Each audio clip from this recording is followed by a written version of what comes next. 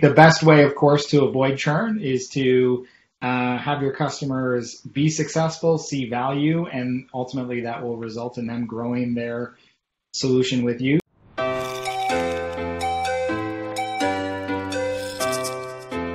Today I have with me Perry Monaco from LinkedIn. Hey there, Perry. Hi, how are you? Pretty good. Thanks for joining me and uh, sharing your nuggets of customer success wisdom with the with our YouTube uh, followers. Happy to be here. Looking forward to it. Awesome. So today I want to talk about expansion selling. You know, I get so many emails from uh, customer success professionals that they hit their target on retention, but for some reason you know, expansions, it's kind of like one off. Every now and then there's like this ad hoc sense of, you know, capturing opportunities and actually following through with them. There's a lot of dependencies on other teams.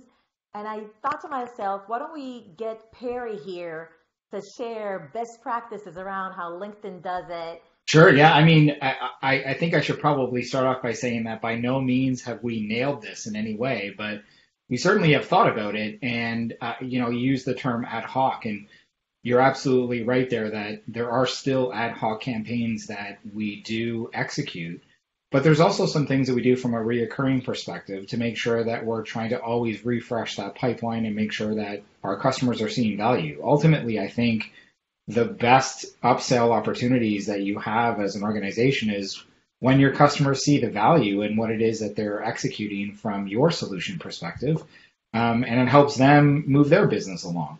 So it should be a win-win, right? Absolutely. So, you know, half the people that listening to this uh, or watching this YouTube video, they don't even, you know, do any kind of campaigns. They really just get an opportunity as it comes. But even there, I think there's opportunities to make it better. But for today, what I'd like to focus on is data driven campaigns. And I like the operative word that you said, bringing value to customers. And I, would like you to share sort of like the framework of how you guys are thinking through when you start designing a campaign for expansion. Mm. You know, where do you where do you start? What do you think about?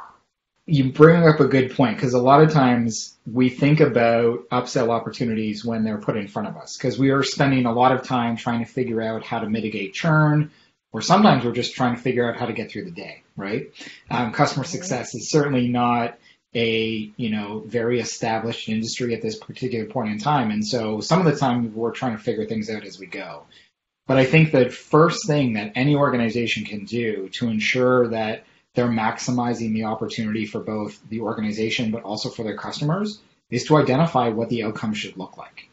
Ultimately, what do our customers want to accomplish uh, with the product? And then ultimately, what is it that that, that an upsell opportunity or a future investment into, or further investment, excuse me, into our solution is going to help them accomplish as an organization?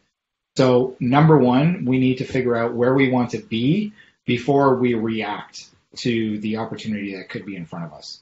There's also the situation that organiza- organizations get into where sometimes we're selling to the wrong customer, right? And so sometimes that happens because we haven't truly identified what the outcome is that we want it to be. So that would be the first step. So the first step is really trying to solve a certain problem that customers have or identify opportunities for additional use cases or some sort of a way to add value to customers. So essentially you, you're thinking, okay, what's the problem we see most of our customers have and how can we solve it? And that's how you design the campaign is around that. Exactly. The second step then, of course, is an extension of that is, and that's when you, once you under, understand what the outcome should be or what the program should be, you want to make sure that you then define the offering you, in an ideal situation, take away as much guesswork from the sales team as possible. Not every salesperson is having to reinvent the wheel or coming up with their own messaging. This is something that really you can own as a CS leader and then present that back to the CSMs or sales sales team, whichever it is that that might be most appropriate. But defining the the offering in the sense of what business problem are you trying to solve and how is your solution going to get them there um, that's really going to help you move the needle as it relates to any upsell opportunities that exist. And so once you define the problem, you define the solution. Does the solution sometimes include more than just a certain feature or a function or a module or a product that they can buy into? Yeah, sometimes it can be um, they buy into your professional services model. It could be that they are um, introduced to a partner or a, another channel partner, or it could be all sorts of different things that could um, ultimately get them to where they want to go. But because there can be so many different levers that your team can pull, defining that for them and helping them, you know, f- define that clear line between from A to B can be super helpful. And it sounds like you're essentially feeding the salesperson or the sales team what the problem and the solution uh, is going to be, and then they're the ones running with it?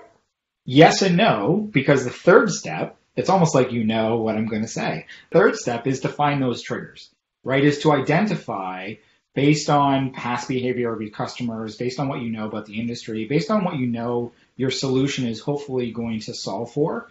Find out those moments along the customer lifecycle or those different um, things that a customer could say or do or demonstrate that will trigger the sales team to know, hey, wait a minute, based on what I'm hearing or based on what the situation is presenting, I now know with reasonable certainty that there is a desirable outcome here as it relates to a solution that I could potentially put in front of this customer. And so that trigger will then enable them to go ahead and action what just happened.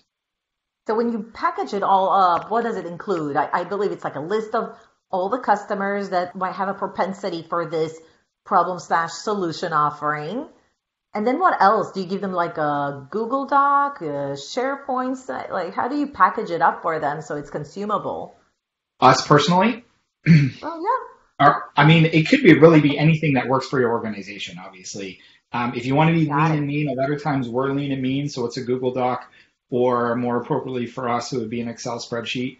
Um, but it can also be a little bit more sophisticated. It could be something that is uh, a report that's generated in Salesforce or whatever CRM that you're using. Exactly, with account names and maybe sort of you can even prioritize the list as well based on the number of um, the number of triggers that have been activated by that particular customer. So then instead of just giving a list of 100 potential customers, you can say of this 100, the first 25 are the most um, the ones that you should prioritize first because they've hit multiple triggers, whereas the ones at the end are maybe the ones that you uh, get to only if you have time.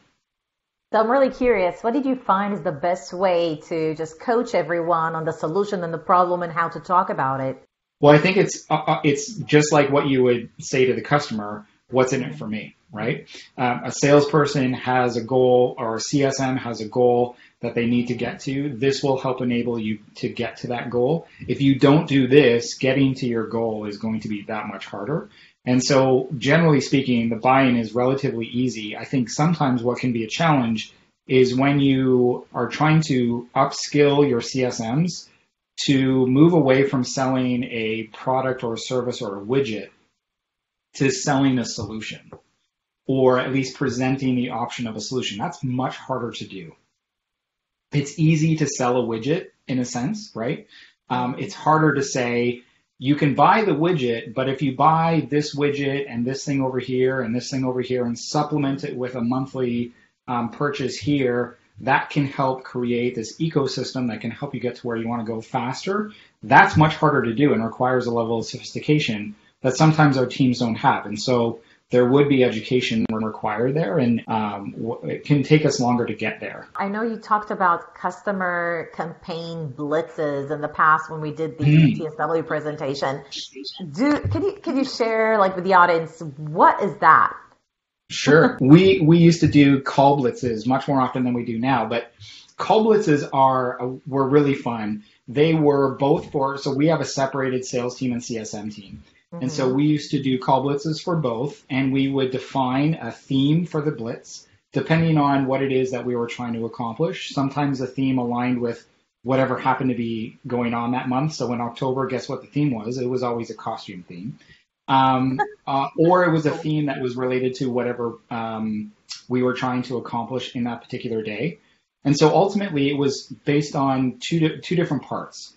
The first part was, like we just spoke about, was identifying the outcome that we wanted to achieve with this blitz. And then based on that, looking at our list of customers that we wanted our teams to prioritize.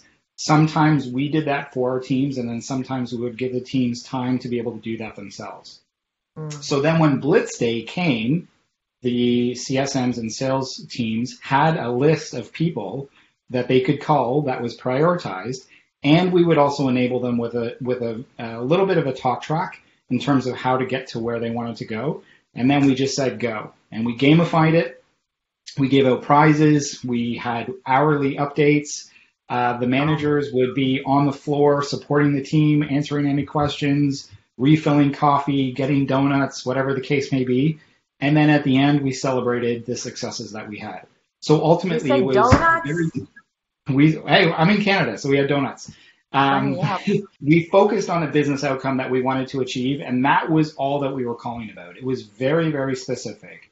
We knew that there was a gap in user engagement, or that there was an opportunity to um, sell a, a, particular solution or even a product, and mm-hmm. that was all that we were focused on. And we enabled the team to you know, put their out of offices on and just focus on that for the entire half day.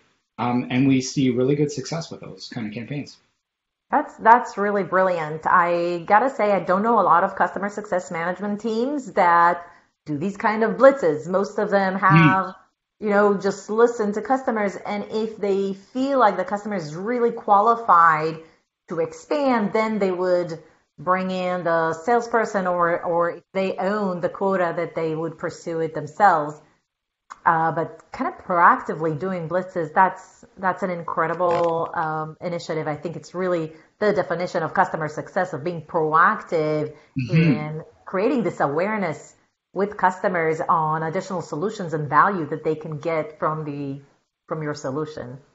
So one of the other benefits of the blitzes is that allows the CSM to focus on one singular outcome of that phone call. The reality of phone calls with our customers is that we're constantly having to change gears. We don't know what our customer is going to say when we call them. And so when we call during a call blitz and we have that singular focus, the CSM has permission to potentially move that conversation to a later date or another time if the customer isn't reacting to the uh, potential of, of an upsell opportunity or learning more about it, um, because they are singularly focused. And there is that gamification that goes along with the call blitz. And so it can actually provide for a much better outcome for the CSM and for the customer because it puts the CSM in a mind frame where they don't have to constantly be shifting gears. And then it also allows our customer to feel heard um, and to uh, ensure that when we do talk to them about their potential issue, we're doing it when we're in the right frame of mind as well. So I really like blitzes for all sorts of reasons. It's a great team yeah. builder as well. The team generally really rallies around one another, um, and they end up being a lot of fun. I bet it also um, an opportunity to have the senior guys teach the more junior guys and have a lot of knowledge transfer happen.